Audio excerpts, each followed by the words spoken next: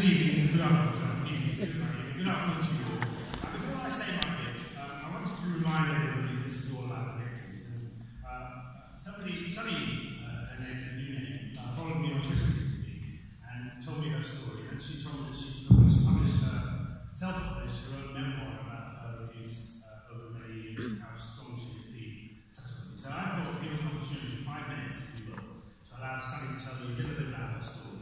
This is the very first time she's